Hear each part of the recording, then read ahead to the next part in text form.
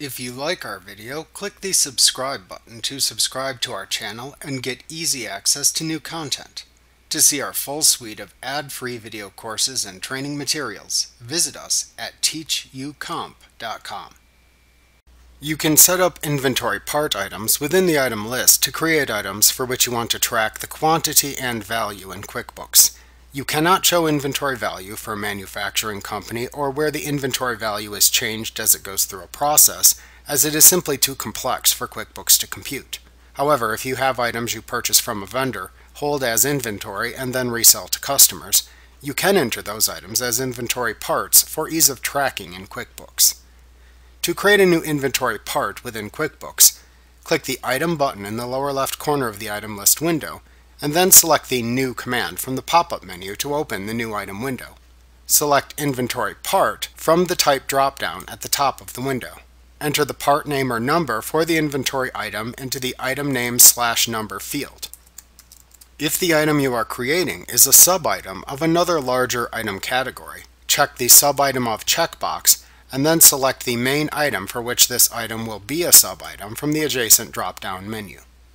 When creating sub-items, the sub-item must be of the same item type as its parent item, and you must create the main item first before creating its sub-items.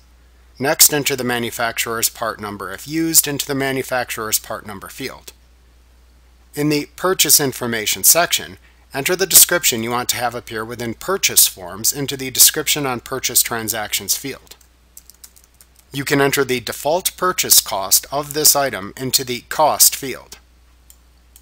This amount, if entered, will appear by default within purchase forms when you select the item, but you can always change it at that time if needed. Select the Cost of Goods Sold account used to track the cost of purchasing this item from the Cost of Goods Sold account drop-down field. If you have a preferred vendor for this item, select the name of that vendor from the Preferred Vendor drop-down field. If this item is the first item selected within a purchase form, the preferred vendor's information will automatically be filled in within the form. In the Sales Information section, enter the description of the item as you want it to appear within sales forms into the Description on Sales Transactions field you can enter the default sales price into the sales price field. This amount, if entered, will be the default amount displayed within your sales forms when this item is selected. You can always change it at that time if needed. Select the tax code for the item from the tax code drop-down menu. Then enter the account used to track the amount of income generated by the sale of this item from the income account drop-down menu. In the Inventory Information section, select the Asset account used to track the value of inventory within the company file from the Asset account dropdown. Then enter the quantity at which you want to reorder this item into the Reorder Point Minimum field. If creating an inventory item for inventory you possessed as of the start date of your company file, then enter the total quantity on hand as of the start date into the On Hand field. Then enter the total value of the quantity on hand into the total value field. Then select the start date of the company file from the As Of field.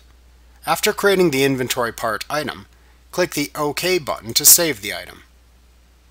Remember to click the subscribe button to see more of our videos. Get ad-free courses at teachucomp.com.